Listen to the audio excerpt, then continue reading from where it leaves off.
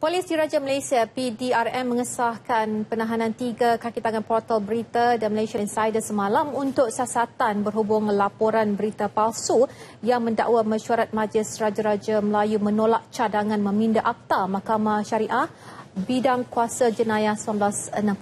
Dua lagi kaki tangan portal berkenaan ditahan pagi tadi.